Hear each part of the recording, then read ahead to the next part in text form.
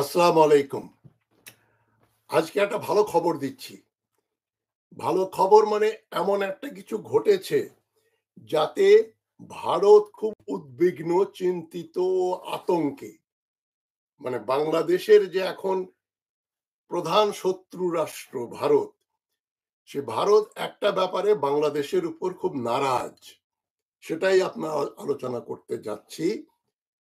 আর যারা গতকাল আমার অনুষ্ঠান দেখেছেন, সেখানে আমি আর রাখ ঢাক না করে পরিষ্কারভাবে ডক্টর ইউনুসকে বলেছি, হয় আপনি দেশ চালান, নইলে মানে মানে সরে পড়ুন।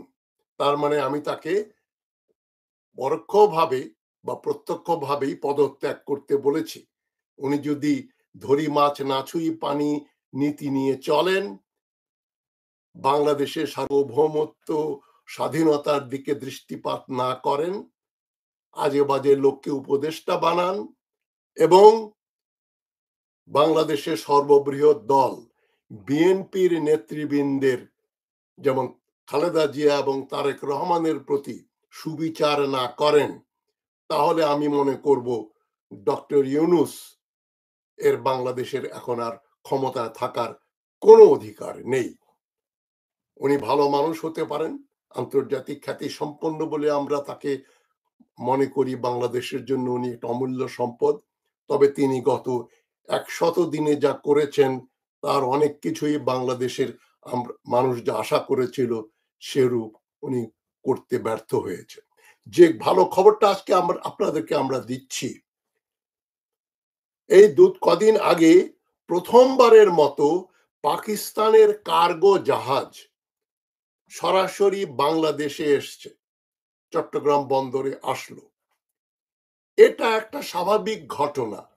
মানে এক দেশের বাণিজ্য জাহাজ আরেক দেশে যাবে। এবং এতে তৃতীয় একটা দেশ তার সরকার বা মিডিয়ার নাক গলানোর বা প্রতিবাদ করার বিন্দু মাত্র অবকাশ থাকে না। আমরা কি বলি নাকি? ভারত ইসরায়েলের সঙ্গে ব্যবসা করছে। ভারত, চীনের সঙ্গে ব্যবসা করছে, রাশিয়ার সঙ্গে ব্যবসা করছে, জাহাজ আসছে তাদের, ভারতীয় জাহাজ সেখানে যাচ্ছে। এটা তাদের অভ্যন্তরীণ ব্যাপার। বাংলাদেশ কার সঙ্গে বাণিজ্য করবে আর না করবে? আপনারাই বলেন ভাই, এতে ভারতের কেন এত গা জ্বালা করছে? তারা যেচে উপদেশ দিচ্ছে, গালাগাল করছে, অজস অশ্লীল ভাষা গালাগালি করছে। ওই খবর কাগজে খবর এসছে, তারা আবার অনেকেই কমেন্ট করছে, বাংলাদেশকে বলছে কাংলাদেশ মানে কাঙ্গাল। আরে নির্বোধেরা জানে না, ভারতীয় নির্বোধেরা জানে না। অমর্ত্য সেন তো জানেন। অমর্ত্য সেন কি বলেছেন সেটা শোনা উচিত। যে এখন বেশ ক বছর আগেই বলেছেন যে বাংলাদেশের মাথা পিছু আয় ভারতের চেয়ে বেশি। পার ক্যাপিটা ইনকাম আমাদের ভারতের চাইতে উপরে আবার হিউম্যান ডেভেলপমেন্ট ইন্ডেক্স এইচডিআই এই যে মানুষের আয়ু, তাদের স্বাস্থ্য শিশু মৃত্যুর হার, এই দিক দিয়ে দেখলেও বাংলাদেশ পাকিস্তানের ভারতের উপরে। পাকিস্তানেরও উপরে, ভারতেরও উপরে, নেপালেরও উপরে, আফগানিস্তানের উপরে বাংলাদেশের অবস্থান। পার ক্যাপিটা ইনকাম এবং হিউম্যান ডেভেলপমেন্ট ইন্ডেক্স অনুযায়ী। তারপরে তারা আমাদের বলছে বাংলাদেশ এখন যে ঘটনাটা ঘটলো, সেটা আমি আপনাদের একটা ওদের ইন্ডিয়ার সবচাইতে পুরনো পত্রিকা, দৈনিক পত্রিকা, দ্য টাইমস অফ ইন্ডিয়া, যেটা বোম্বাইতে আঠারোশো আটত্রিশ সালে শুরু হয়েছে। মানে আজ থেকে কত, বহু প্রায় মানে দুশো বছর আগের পত্রিকা। সেই পত্রিকায় বিরাট একটা নিউজ এসছে। শুধু হিন্দুস্তান টাইমস অফ ইন্ডিয়াতেই না ইন্ডিয়ান এক্সপ্রেস সহ আরও বহু পত্রিকায় ব্লগে এবং বিভিন্ন জায়গায় ছেয়ে গেছে একটা নিউজ যে এই বুধবার মানে বুধবার তেরো তারিখে বাংলাদেশে প্রথমবারের মতো প্রত্যক্ষভাবে ডাইরেক্টলি সরাসরি পাকিস্তানি বাণিজ্য জাহাজ এসছে। যুদ্ধের জাহাজ না। আরে যুদ্ধ জাহাজ তো আসবে বিভিন্ন দেশের নেভির জাহাজ এক দেশ থেকে আরেক দেশে যায়। তো পাকিস্তানের জাহাজ আসবে। পাকিস্তান থেকে আমরা অস্ত্র কিনবো। এ ধরনের এগ্রিমেন্ট তো হয়ে হচ্ছে। ওদের খুবই উন্নত জঙ্গি বিমান, জে এফ সেভেন্টিন, ওটা তো বাংলাদেশ কিনবে। পৃথিবীর বিভিন্ন দেশ কিনছে। ইরানও কিনতে যাচ্ছে পাকিস্তানি ফাইটার জেট আজারবাইজান কিনেছে মালয়েশিয়া কিনবে মিয়ানমার কিনছে আফ্রিকারও নাইজেরিয়া কিনেছে আমরাও কিনবো সুতরাং আমরা যেখান থেকে ইচ্ছা আমাদের অস্ত্র কিনবো যার সঙ্গে খুশি আমরা ব্যবসা বাণিজ্য করব তাতে ভারতের কি যায় আসে এটা কি ভারতের অঙ্গরাজ্য এটা কি আসাম না মেঘালয় এটা বাংলাদেশ এটা বাংলাদেশে ভারতপন্থীরা স্বীকার করে না তারা মনে করে বাংলাদেশ ভারতের একটা প্রদেশ বা ভারতের একটা প্রদেশ হওয়া উচিত। এটা মনে করে কারা? আওয়ামী লীগ, তার সঙ্গে যে চোদ্দ দল আছে তারা, ইসকন আর হিন্দু বৌদ্ধ খ্রিস্টান ঐক্য পরিষদ এবং আওয়ামী লীগের সব নেতা, সব কর্মী, সব সমর্থক, এরা সব ভারতের দালাল এবং এই ভারতের দালালদের ভেতরে শুধু আওয়ামী লীগ না, বাংলাদেশের সর্ববৃহৎ দলের কিছু লোকও সেখানে রয়েছে সেটা আমি আলোচনা করছি। আমি প্রথমেই আপনাদের টাইমস অফ ইন্ডিয়ার একটা বড় খবর আপনাদের দিচ্ছি। হেডলাইন হচ্ছে as Dhaka up to Pakistan cargo ship from Karachi arrives at Bangladesh port মানে এটা চোদ্দই নভেম্বরের খবর, নেহেরুর জন্মদিন, চোদ্দই নভেম্বর। যে ঢাকা যখন পাকিস্তানের সঙ্গে সম্পর্ক ভালো করছে তখনই দেখা যাচ্ছে করাচির থেকে একটা বাণিজ্য জাহাজ চট্টগ্রাম বন্দরে এসছে। A cargo vessel from Karachi docked at Chittagong port Wednesday marking the inaugural direct maritime connection between Pakistan and Bangladesh এই ডাইরেক্ট ম্যারিটাইম কানেকশন হচ্ছে ভারতের সঙ্গে পাকিস্তানের সঙ্গে বাংলাদেশের, এটা তথ্য।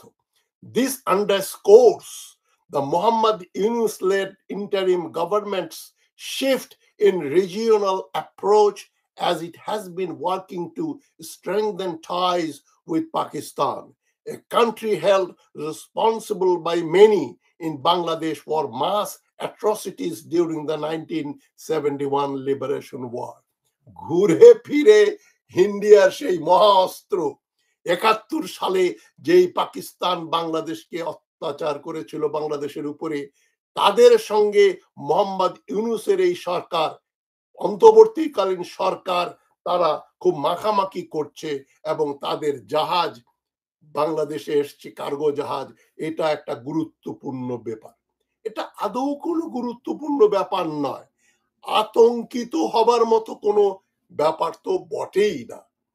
বাংলাদেশ পাকিস্তানের সঙ্গে ব্যবসা করবে, জিনিস কিনবে, আমাদের কার আমরা আমাদের জিনিস পাঠাবো, তারা তাদের জিনিস পাঠাবে। আরে বাবা, পৃথিবীর সমস্ত ডিপ্লোম্যাটিক রিলেশনস এবং যুদ্ধের কারণ হচ্ছে বাণিজ্য। আমি যেটা বারবার বলছি, আমি, আমার নিজের থিওরি এটা।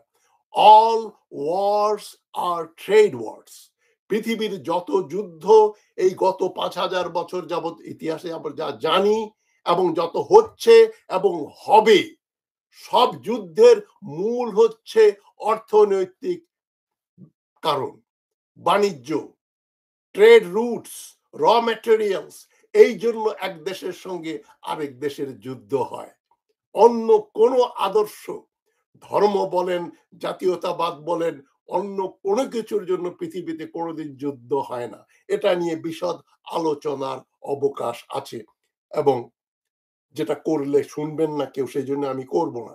তবে আমি যেটা বলছি, বাংলাদেশের সঙ্গে পাকিস্তানের বাণিজ্য চুক্তি হয়েছে, তারা জাহাজ আসবে, এতে অবাক হবার কি কি আছে? আমি আবার পড়ছি টাইমস অফ ইন্ডিয়া থেকে। The ship arrived amid politically sensitive environment in Bangladesh where the government recent moves have stirred both support and opposition মানে এই জাহাজটা এমন এক সময় আসলো যখন বাংলাদেশের অবস্থা খুবই সেন্সিটিভ একটা এনভায়রনমেন্ট নাকি। খুবই নাকি একটা যেটাকে সেন্সিটিভ বলে।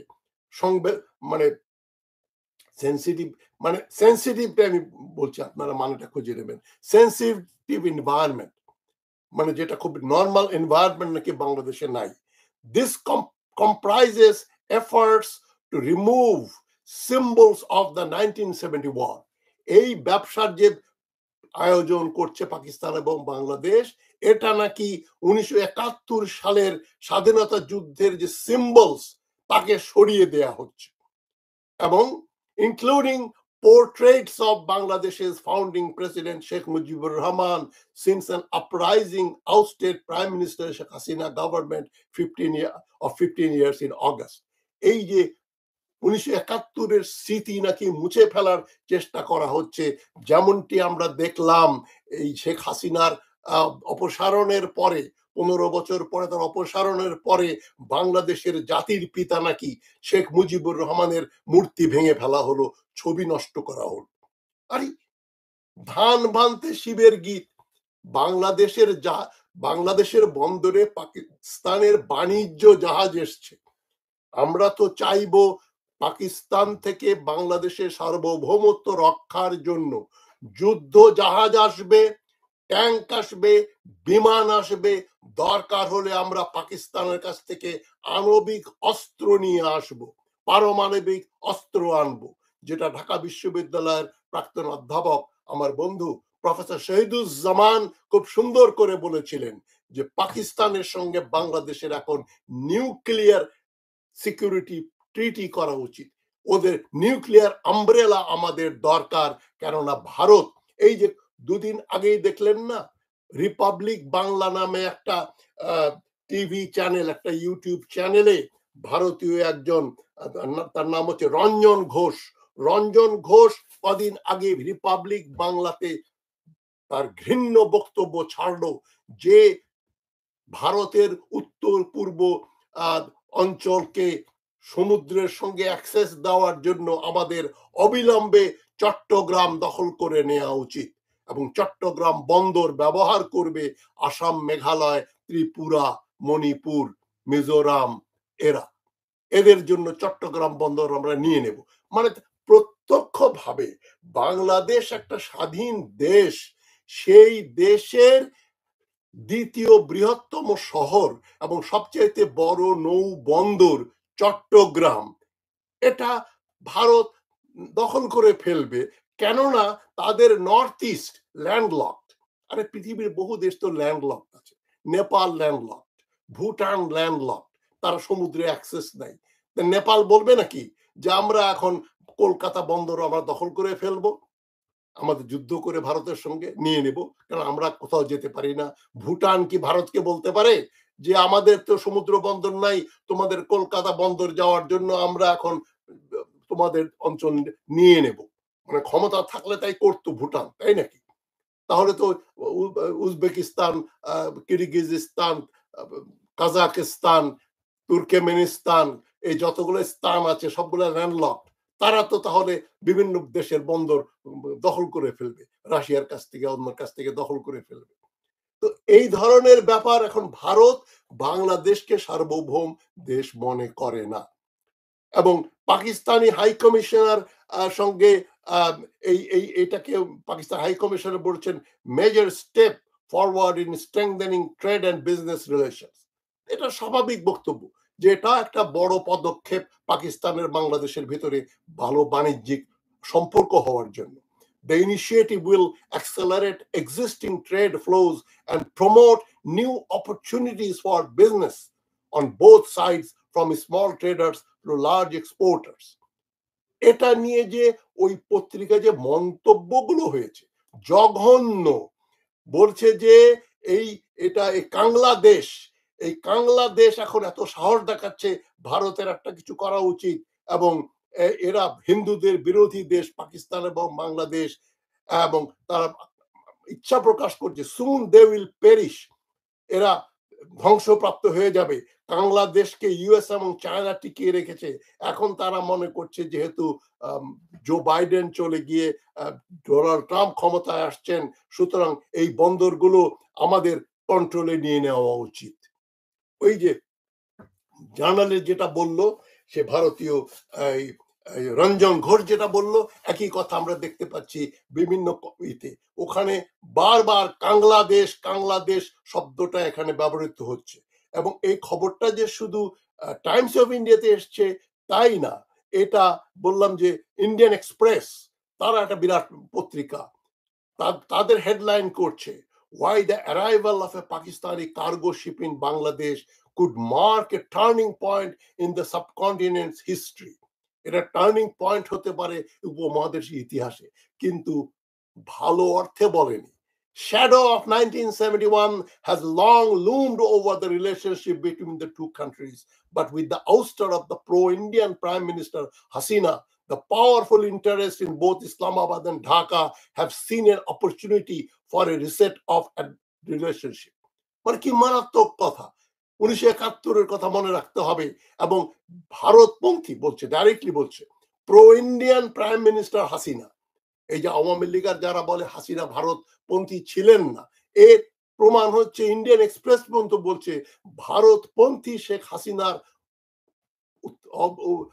অপসানের উৎখাতের পরেই ঢাকা এবং ইসলামাবাদ অনেক কাছে চলে এসছে। এই যে পাকিস্তানের প্রধানমন্ত্রী শাহবাজ শরীফের সঙ্গে ডক্টর ইউনুস নিউ ইয়র্কে দেখা করলেন পঁচিশ, পঁচিশে সেপ্টেম্বর। সেটা নিয়েও একটা বিরাট খবর যে, দেখেছ দেখেছ, বাংলাদেশের প্রধান উপদেষ্টা ডক্টর ইউনুস পাকিস্তানের পরমান প্রধানমন্ত্রী শাহবাজ শরীফের সঙ্গে হাত মেলাচ্ছেন, একসঙ্গে ছবি তুলছেন। মানে উদ্ভট ব্যাপার উদ্ভট ব্যাপার। যেন অমুকের বউ দেখেছ? ও সেদিন বিয়ে হলো, সে আরেকজনের সঙ্গে ছবি তুলছে, আরেকজনের সঙ্গে হাতে হাত মিলিয়ে কাঁধে কাঁধ ধরে হেঁটে যাচ্ছে। যেন একটা পরকিয়া রিলেশনশিপ হচ্ছে। বাংলাদেশ ভারতকে না জানিয়ে পাকিস্তানের সঙ্গে সম্পর্ক করছে। ইন্ডিয়ান এক্সপ্রেস পত্রিকা সে ছবিও দিয়েছে। চিফ অ্যাডভাইজার এবং এই শাহবাজ শরীফের। এবং বলছে cargo ship from Karachi at Chittagong mark thirteen marking the first ever direct maritime contact between পাকিস্তানের বাংলাদেশ তো এই যে তাদের আতঙ্ক এবং ঘৃণা, আতঙ্কর চাইতেও ঘৃণা এবং লোভ এখানে একেবারে সবচাইতে বড় ফ্যাক্টর হয়ে দাঁড়িয়েছে। হ্যাঁ বাংলাদেশ এখন পাকিস্তানের সঙ্গে ব্যবসা করবে, তার মানে আমাদের পেঁয়াজের ক্রাইসিস হলে বা ডিমের ক্রাইসিস হলে আমরা পাকিস্তান থেকে ডিম আনব বা পেঁয়াজ আনব বা মাল মশলা আনব, যেগুলো ভারত আমাদের রপ্তানি করে, আমাদেরকে দেয়। আমি দেখেন, যখন ভারতীয় পণ্য বর্জন আন্দোলন তুঙ্গে, হাসিনা যখন ক্ষমতায়, আমি কিন্তু ওটার বিরোধিতা করেছি। এখন বুঝবেন, আমি কেন ভারতীয় পণ্য বর্জনের বিরোধিতা করেছি কেননা আমি মনে করি, তখনও মনে করতাম যে ভারতীয় সবচাইতে বড় পণ্য হচ্ছে শেখ হাসিনা। তাকে না সরিয়ে ভারতের তেল, সাবান, শ্যাম্পু, বিস্কুট বর্জন করলে আমাদের কিছু আসবে যাবে না, কোনো লাভ হবে না। আর ভারতের বড় বড় পণ্য, ট্রাক, বাস, কেমিক্যালস, এগুলো যদি আশা বন্ধ না করি শুধু ভারতের তেল সাবান বর্জন করলে হাসিনাকে সরানো যাবে না। হাসিনাকে সরাতে এক দফা লাগবে, বারবার বারবার বলেছি আমি, এক দফা লগি বৈঠা লাগবে, বঙ্গভবন, গণভবন দখল করতে হবে, সংসদ দখল করতে হবে হবে, আমার ছাত্রেরা সেটা করিয়ে দেখিয়ে, করে দেখিয়েছে। সুতরাং যারা আমার বিরুদ্ধে বিষোদ্গার করেছে, এই যে নাগরিক টিভির তিন ক্লাউন যারা চাঁদাবাজ তারা পর্যন্ত আমাকে বলেছে, জানেন না ওনার তো জন্ম ভারতে। উনি তো উর্দু ভাষী উনি একেবারে ভারতের বন্ধু, বাংলাদেশ বিরোধী, ভারতের ভারতের ভারতপন্থী তাজ হাসমি তাদের মুখে এখন নিশ্চয়ই ছাই পড়েছে। আমি তো বলি যে বাংলাদেশের এখন পাকিস্তানের সঙ্গে আণবিক চুক্তি করা দরকার। পাকিস্তান থেকে যত রকম মারণাস্ত্র আছে কিনে আনা উচিত। এবং আমাদের দশ ডিভিশন সৈন্য আছে, এটা ভারতকে প্রতিহত করার জন্য more then enough. Provided we have a good general provided আমাদের দেশপ্রেমিক ভারত বিরোধী সেনা অফিসাররা বাংলাদেশ আর্মি নেভি এয়ারফোর্স নিয়ন্ত্রণ করেন। দুর্ভাগ্যবশত এখনও ভারতপন্থী আওয়ামী পন্থী ওয়াকারেরা, জেনারেল ওয়াকার এবং তার সহযোগীরা এখনও জেঁকে বসে আছে। আমি বারবার বলছি, এরা বিশ্বাসঘাতকতা করতে পারে, আমি এদের বিশ্বাস করি না। আর দেখেন, ভারত যে এই খেলাটা খেলছে, সূক্ষ্ম খেলাটা কিন্তু বাংলাদেশের প্রতিষ্ঠিত রাজনীতিবিদরা খেলছেন, খুব সূক্ষ্মভাবে। তাদের একজন হচ্ছে গণধিকৃত আমির খসরু মাহমুদ চৌধুরী। যিনি তাইওয়ানের কাছে এক মিলিয়ন ডলার ঘুষ খেয়েছিলেন দু হাজার চার সালে। করে তাইওয়ানকে ভিসা অফিস করতে দিয়েছিল ঢাকায়। যার জন্য চীনের সঙ্গে বিএনপির সম্পর্ক এখনও ভালো হয়নি। এই আমির খসরু মাহমুদ চৌধুরী কয়দিন আগে আবার গেলেন কুখ্যাত অমিত শাহের সঙ্গে সাক্ষাৎ করতে। কি আলাপ করতে? খসরু সাহেব বলেন না? কি বলেছে অমিত শাহ? কেমন আছেন? ভালো আছেন? দেখা করতে আসলাম। ভাবলাম যে বহুদিন ভালো আসি না। সেই কথা বলতে গিয়েছিলেন? নাকি এটা বলতে গিয়েছিলেন যে আওয়ামী লীগ তো এখন ডিসক্রেডিটেড ভারতপন্থী, আমরা দুই হাজার আঠারোতে আমার সঙ্গে দেখা করেছিলাম নির্বাচনের আগে যে আমাদেরকে সুযোগ দিলে আমরাও কিন্তু আপনাদের পা চেটে পরিষ্কার করে দেব। আমাদেরকে আপনারা ক্ষমতায় আসার সুযোগ দিন। এখন সুবর্ণ সুযোগ হাসিনা আওয়ামী লীগ ডিসক্রেডিটেড আমরা তো আছি। আমরা বিএনপি, তারেক রহমানকে আসতে দেব না আমরা। আমরা নিয়ন্ত্রণ করে নির্বাচন করে ডক্টর ইউনিস চলে যাওয়ার পরে ক্ষমতায় আসব। ভারত, বাংলাদেশ আবার ভাই ভাই হয়ে যাবে। আওয়ামী লীগও থাকবে, ভারতের ইন্টারেস্টও থাকবে ইস্কনও থাকবে, বৌদ্ধ হিন্দু, বৌদ্ধ, খ্রিস্টান ঐক্য পরিষদও থাকবে। এটাই তো বলতে গেছেন। যে যে অমিত শাহ বাংলাদেশিদের বলে টারমাইট টারমাইট বলেছে, মুই পোকা বলেছে, বাংলাদেশি নাকি ভারতে অনুপ্রবেশ করে। এটাই হচ্ছে ভারতের প্রবাগান্ডা আর তার সঙ্গে দেখা করে কীভাবে বিএনপির নেতৃবৃন্দ। আমি ভাই বুঝি না। আমি বুঝি, ব্যাপারটা হচ্ছে যে এরা ভারতপন্থী। আওয়ামী লীগকে নিষিদ্ধ করার ব্যাপারে তাই আমির খসরু মোহাম্মদ চৌধুরী এবং মির্জা ফখরুল ইসলাম সাহেবের ঘোর আপত্তি। তারা চায় না আওয়ামী লীগ নিষিদ্ধ হোক। তারা একটা ধোয়া তুলেছে, আজকে আওয়ামী লীগ নিষিদ্ধ করলে কালকে বিএনপি নিষিদ্ধ করবে। আরে বিএনপি কি আর আওয়ামী লীগ কি এক জিনিস নাকি? আরে বিএনপি কি, তারা নিজেরাই বিএনপি কে টেনে একটা সন্ত্রাসী দল হিসাবে পরিচিত করা দিতে চাচ্ছে। যে বিএনপি আওয়ামী লীগ তো একই জিনিস? আজকে আওয়ামী লীগ নিষিদ্ধ করবে, কালকে বিএনপি নিষিদ্ধ করবে। আপনারা আমার যারা অনুষ্ঠান দেখছেন বিএনপির সদস্যদের বলছি, আমি জিয়াউর রহমানের বিএনপিতে বিশ্বাস করি, আমি ভারত বিরোধিতায় বিশ্বাস করি, আমি আমাদের সার্বভৌমত্ব টিকিয়ে রাখতে বিশ্বাস করি, আমি চাই ভারতের সঙ্গে আমাদের কূটনৈতিক সম্পর্ক দরকার হলে আমরা ছিন্ন করব। কোন রকম বাণিজ্যিক সম্পর্ক, কোনো কিছু রাখব না। কোনো ভারতীয়, হাজার হাজার ভারতীয় বাংলাদেশে কাজ করছে, ওদের খুঁজে খুঁজে বের করে আমরা বর্ডার দিয়ে লাথি মেরে ভারতে পাঠিয়ে দেব। এই আমি আমি ভারতীয় পণ্য বর্জনের বিরোধিতা করেছি, কিন্তু আমার মতো ভারত বিরোধী, ভারতের সাম্রাজ্যবাদী ডিজাইন বিরোধী ব্যক্তি কয়জন আছে? কয়জন আছে? আমি বাহাত্তর সাল থেকেই ভারত বিরোধিতা করছি। এখন নতুন নতুন বৈরাগী আসছে, তারা ভাতকে বলে অন্ন, আর বলে তাজ তাজ হাসমি নাকি ভারতপন্থী। এখন প্রমাণ হয়ে যাবে কারা ভারত, কে ভারত বিরোধী, আর কে ভারতের বন্ধু এবং দালাল। আওয়ামী বিএনপির ভেতরেও ভারতের দালালেরা গিজ গিজ করছে। এরা নির্বাচনে যদি নির্বাচিত হয়ে আসে, তাহলে যে লাউ, সেই কদু। হাসিনার আমলে যা হয়েছে তার চেয়ে বেশি হবে। তাই ডক্টর ইউনুস, আমি আপনাকে শেষ করার আগে আমি আবার বলছি, কালকে আপনাকে যেটা বলেছি প্রচ্ছন্ন ভাবে আমি ইঙ্গিত দিয়েছি, আপনি না পারলে পদত্যাগ করেন। কারণ আপনি আর ডেলিভারি দিতে পারছেন না। আপনি এই যে ফারুকের মতো লোক, জহিরুদ্দিন বসিরুদ্দিনের মতো খুনের আসামিকে আপনি উপদেষ্টা বানিয়েছেন। হ্যাঁ? ফারুকের মতো লোক যার স্ত্রী ফজিলতুন নেসার অভিনয় করেছে মুজিব ছবিতে এরা কট্টর আওয়ামী লীগার এবং এটা ম্যাট্রিক পাস লোককে আপনি উপদেষ্টা বানিয়েছেন।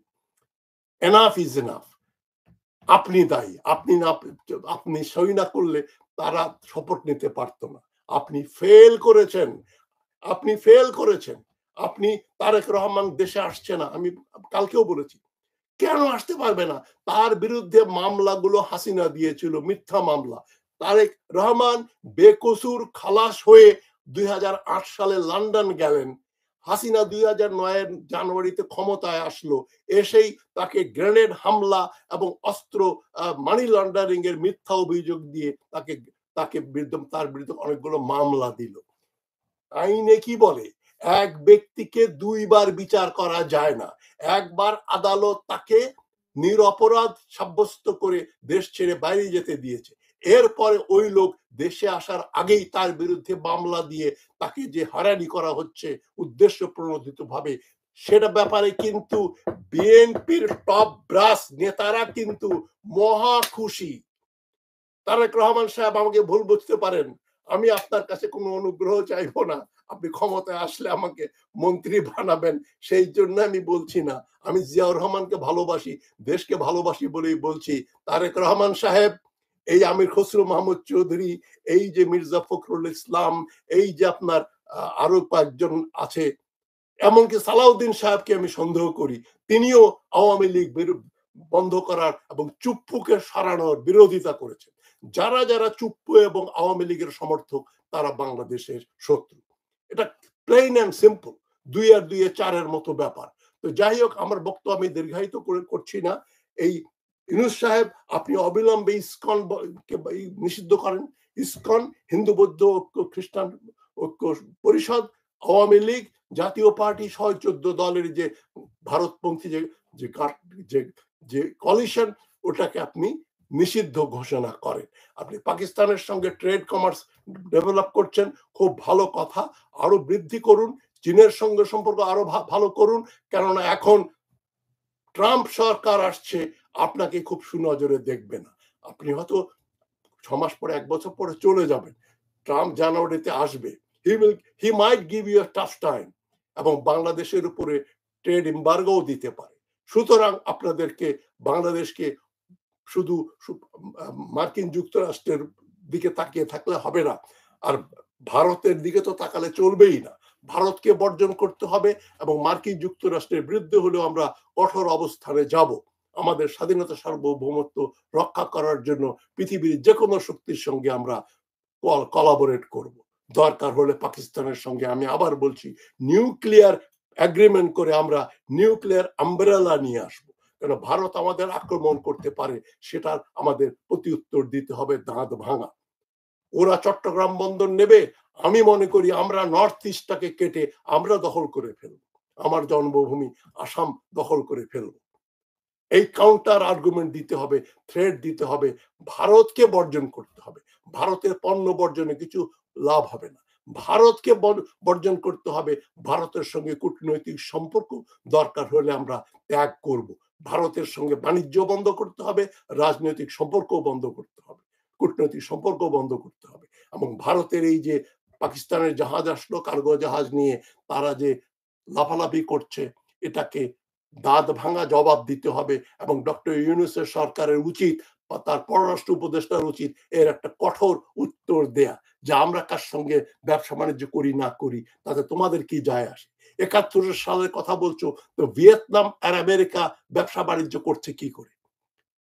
জাপান হিরোসীমা নাগাসাকির পরে জাপানের সঙ্গে আমেরিকার যদি সক্ষতা থাকতে পারে, তাহলে একাত্তর সালে পাকিস্তানের সঙ্গে আমাদের যুদ্ধ করে আমরা স্বাধীন হয়েছি। এরপরে ওই গন্ডগোল তো সেদিনই শেষ, ষোলোই ডিসেম্বর সব মিটমাট হয়ে গেছে। এরপরে আবার ওইটাকে ধরে নিয়ে এসে, এবং জনধিকৃত শেখ মুজিবুর রহমানকে তো ইউনুস সাহেব টেনে নামান নেই ছাত্র জনতা। আমি ছাত্র জনতা এবং সমন্বয়কদের বলছি তোমরা সাবধান থাকো। তোমাদের নাকের ডগার উপর দিয়ে ইউনুস সরকার যেটা করছেন, সেটাকে বাধা দাও এবং তাকে বলো উনি চুপ্পুকে সরিয়ে যেন অবিলম্বে রাষ্ট্রপতির আসনে বসেন এবং বিএনপি সহ যত যত লোকের বিরুদ্ধে মামলা আছে, ওগুলো প্রত্যাহার করতে হবে। আমার বিরুদ্ধে তো মামলা আছে। প্রথম তিনজনের বিরুদ্ধে যে মামলা হয়েছিল, সে মামলার তো আমিও একজন আসামি। পিনাকি ভট্টাচার্য, ফয়সল রেজা চৌধুরী, তাজ হাসমি সুতরাং আমি তো আমার কথা বলছি না। আমার মামলা রেখে দেন, আমার যাওয়ার দরকার নেই। তারেক রহমানের মামলা উড্ড করেন, তাকে নিয়ে আসেন এবং বাংলাদেশের ভবিষ্যতের নেতৃত্বের ভার তাদের হাতে যাবে। ভারতপন্থী বিএনপিদের হাতে যেন ক্ষমতা না যায় সেই জন্য ছাত্র জনতাকে বলছি বিএনপি গ্রাসরুটস এর সবাইকে বলছি, তোমরা সাবধান। ভালো থাকবেন সবাই।